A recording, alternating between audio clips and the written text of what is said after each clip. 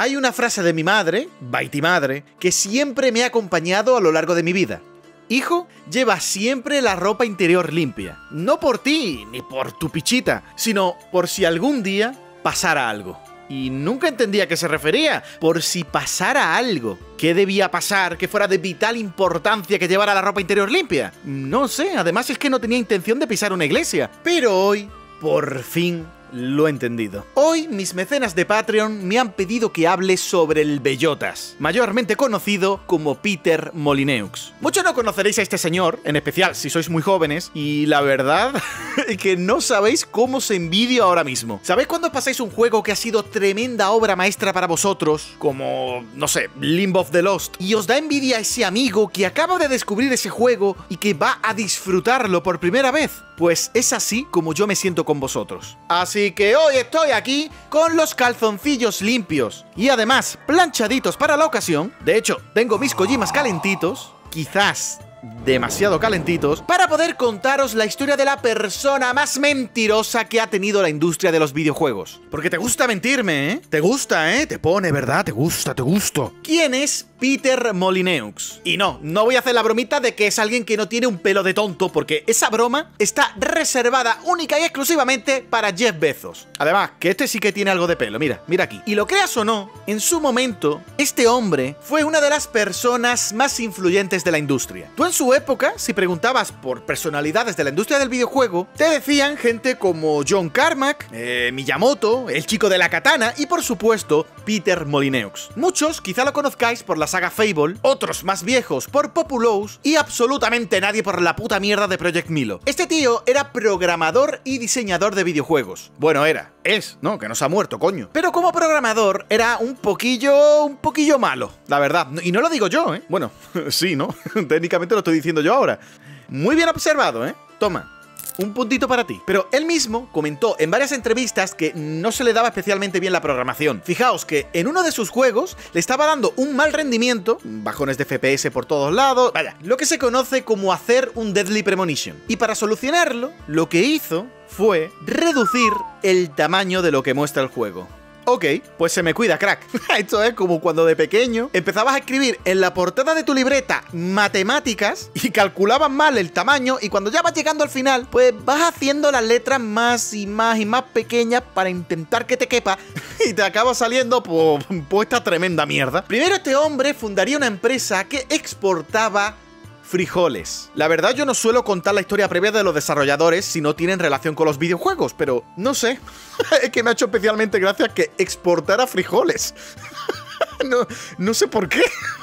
Es como si el primer trabajo de Kojima fuese, yo qué sé, haciendo cajas de cartón. Y con el dinero que ganó con esta empresa, una empresa de frijoles, pues fundó Bullfrog, su primera empresa de videojuegos. La llamó así porque, así como se llama su mascota. Y yo eso, eso lo respeto. De hecho, probablemente si yo fundara una compañía de videojuegos, lo llamaría Pollón, que es como llama mi chinchilla. Y así sacó su primer juego propio, Populous, un videojuego donde encarnamos a un dios. Ya, ya iréis viendo que lo de ser un dios es algo que a este señor, a Peter Molyneux, se la ponía más gorda que la tubería de Super Mario. Y fue un gran éxito. De hecho, en su época fue uno de los juegos más vendidos de PC, lo que tiene un meritazo enorme para ser el primer juego comercial que sacaban. Y empezaron a sacar éxito tras éxito, juegazo tras juegazo. Posteriormente salía Powermonger, que la verdad es que otro nombre que me hace bastante gracia, no sé, Powermonger. Y bueno, pues también fue un éxito. Syndicate, que fue una absoluta barbaridad, fue uno de los primeros juegos Cyberpunk y probablemente uno de los mejores videojuegos que ha sacado jamás. Otro juegazo como Dungeon Keeper, que trataba de construir y administrar una mazmorra, siendo nosotros los malos y tenías que luchar contra los héroes. Them Park, que muchos lo conoceréis, ya que fue uno de los primeros juegos donde podíamos crear nuestro propio parque de atracciones. Y también fue otro rotundo éxito.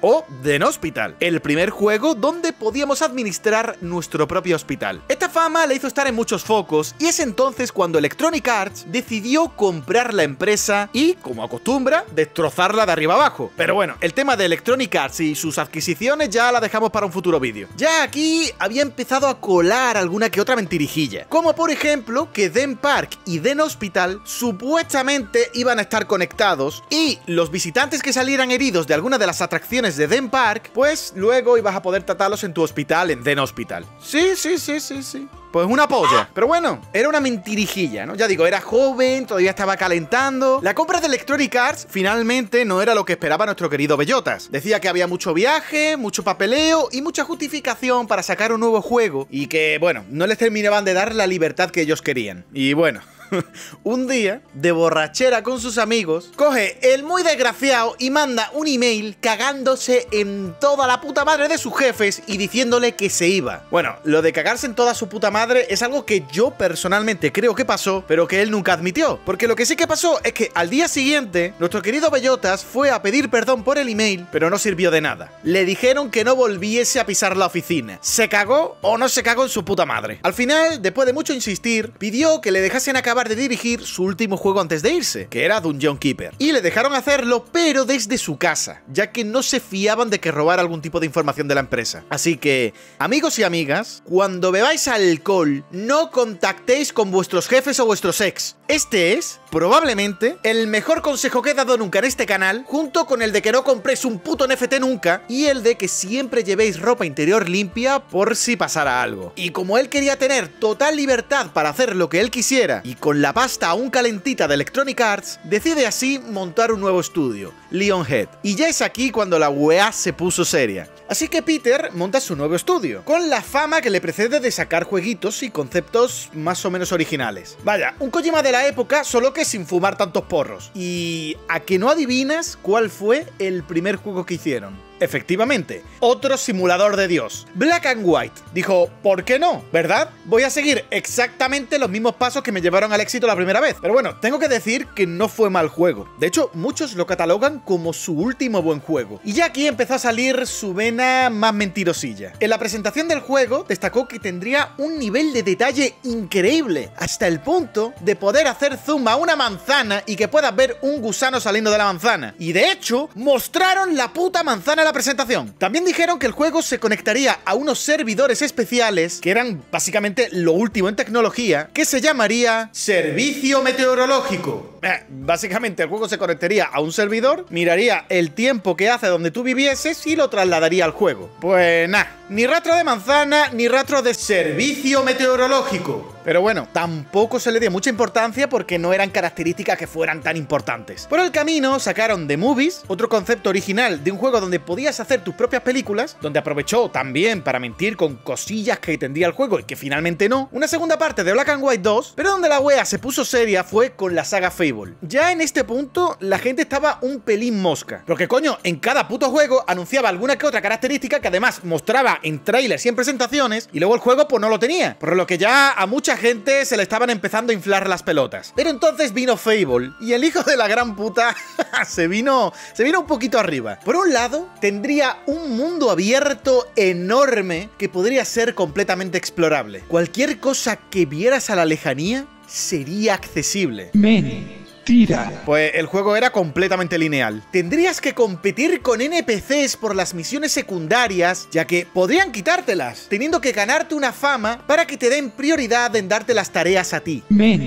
Mentira. Bueno, pues tampoco existe este sistema. De hecho, alguna vez alguna misión secundaria desaparece y la gente pensaba que era un bug. Habrá personaje masculino y personaje femenino completamente personalizable. Mentira. Nah, personaje masculino y no personalizable. Habría pandilleros que perseguiría a la gente que es mala. Mentira. Ni pandilleros ni pollas. Un sistema revolucionario llamado sistema de venganza. Los hijos de aquellos a los que mates jurarán venganza y cuando crezcan te buscarán para vengarse. Mentira. Oh, nah, aquí no se venga ni Dios. Podrás casarte, podrás tener hijos. Mentira. Nah, en este juego no se puede hacer delicioso. Si tienes hijos, si mueres, manejarás al hijo. Mentira. Nah, como he dicho, este juego no tenía tecnología QM Smart. Envejecimiento en tiempo real, pudiendo morir de viejo. Mentira. O tampoco. Multijugador. Mentira. O una polla. Y mis dos favoritas. Por un lado dijo, será el mejor juego de rol de la historia. bueno, eh se vino muy arriba, la verdad. Podrás plantar una bellota y verla crecer hasta volver años después y que la bellota se haya convertido en un roble. Un puto grande el Bellotas. Enseñaron trailers que mostraban un juego totalmente diferente a lo que saldría en la realidad, y al recibir muchas críticas, Peter Molineux entraba en lo que muchos llamaron el ciclo Molineux, que consistía en prometer mucho, dar poco o nada de lo prometido, que Peter Molineux salga a decir que su juego era una mierda, pero que el siguiente, el siguiente sí que sería el mejor juego de la historia. Y entrando así en el ciclo Molineux. Mirad, Fable realmente no creo que sea mal juego. Está muy lejos de ser el mejor juego de la historia. De hecho, como RPG es bastante simplón, pero no es mal juego. El problema de Fable, al menos el primero, fue básicamente el propio Peter Molineux. Creó unas expectativas que no se cumplieron en ninguno de los casos. Y luego llegó Fable 2, que haría todo lo que prometieron y mucho más. Un multijugador absolutamente increíble y dinámico, donde podrías interactuar con todo el mundo. Ah, llegó un multijugador basiquísimo más simple que el mecanismo de un chupete. El sistema de moral sería algo revolucionario, nunca visto en un videojuego. O una mierda. No hicieron nada especial. Tiene el típico sistema de moral que hemos visto ya en cientos de videojuegos, donde si haces cosas malas te dan puntos de malote y si haces cosas buenas te dan puntos de buenote. Y bueno, el sistema de moralidad... A ver. Había cositas que, que bueno. Mira, para que os hagáis una idea, en Fable, comer verduras daba puntos buenos de moral. Pero si comías carne, pues te daba puntos de malote. Que, bueno. pero lo gracioso es que comer carne te daba más puntos de maldad que pegar a tu esposa. Pero Peter, cabrón, hay que darle una vueltecita a tus principios morales, hijo de puta. El sistema de envejecimiento que prometieron estaba también regulinchi, porque a mitad de partida tu personaje era canecro, superaba ya los 100 años. Luego prometieron un sistema de relaciones nunca visto en un videojuego. Eh, el sistema de relaciones de los Sims era más complejo que esto. Aquí simplemente ligar era pues, un minijuego. También una vez soltó que cada árbol sería completamente distinto uno de otro, que no habría un árbol igual. Este hombre. Luego meses después dijo que se vino muy arriba y que no se haría. Pero lo que no entiendo es por qué dijo esto. O sea, ¿qué cojones si no aporta nada al juego? Pero mi favorita fue cuando dijo que en Fable 2 habrá una bellota y será una bellota dorada. Definitivamente estamos llevando a las bellotas al siguiente nivel. Un grande el Bellotas. El juego salió bastante bugueadillo, aunque bueno, recibió buenas notas, pero sí que fue criticado una vez más por las promesas incumplidas. Los bugs con los que salió originalmente y la simplificación del combate y las habilidades pues no terminaron de ayudar mucho. Aunque hay que decir que los bugs los acabaron arreglando posteriormente con parches. Pero Peter Molineux ya comentó que no le terminó de complacer el juego por la cantidad de cosas que tuvieron que recortar, que bueno, suena una vez más al ciclo Molineux, y que el juego hubo un momento que tuvo 60 67.000 bugs. 67.000. Tenía más bugs que población Andorra. De hecho, comentó que el equipo de testeo de Microsoft, que fue el encargado de revisarlo, le comentó que, era físicamente imposible tener tal cantidad de bugs. ¿Qué, ¿Qué cojones habían estado haciendo todo este tiempo? Pero aun con todo, aun con todas las promesas incumplidas, Fable 2 salió, pues, decentemente. Posteriormente, además, fue parcheado y arreglaron gran parte de los bugs. Y además, otras muchas promesas que he omitido, como por ejemplo que tendrías un perro con una inteligencia artificial que sería una locura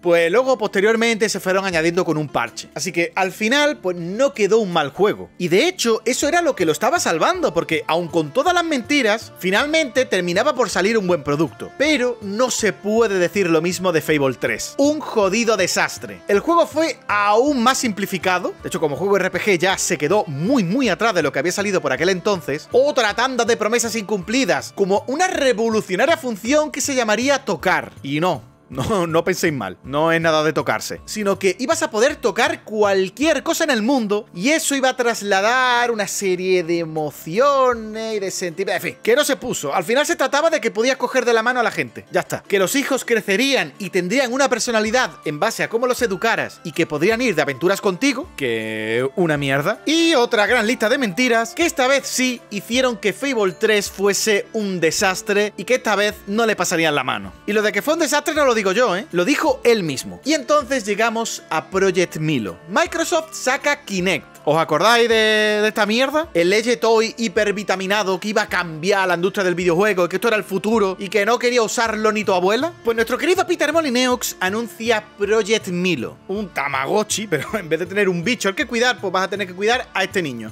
Suena, suena bien, ¿verdad? Que se te muera el niño ahí agonizando porque se te olvidó darle de comer. Papá, papá, dame de comer, papá. Calla, niño. Y le pegas ahí un puñetazo. En la presentación se veía un nivel de interacción de la hostia. Una inteligencia artificial nunca vista hasta entonces. Ibas a poder poner objetos en la cámara y los objetos aparecerían dentro del juego. Podrías hacerle preguntas y te contestaba en tiempo real. Podías tener una conversación totalmente fluida con el puto niño de los cojones. Incluso hubo un momento donde la señora hizo un dibujo, lo puso frente a la cámara y el puto niño este cogió la hoja de papel con el dibujo y reaccionó a él. ¿Pero esto qué es? ¿Tecnología alienígena? Sonaba impresionante, tan impresionante que no era real. Ah, básicamente todo estaba grabado y no tenían absolutamente nada hecho. Era más una prueba técnica que otra cosa. Y ya con esto, ahora sí que sí, la credibilidad de Peter Molyneux cayó por los suelos. Tal fue así que en una entrevista, un periodista le preguntó directamente si era un mentiroso compulsivo, si tenía esa necesidad de mentir constantemente. Hasta en una ocasión se puso a llorar en mitad de una entrevista porque decía que la gente ya no creía en él.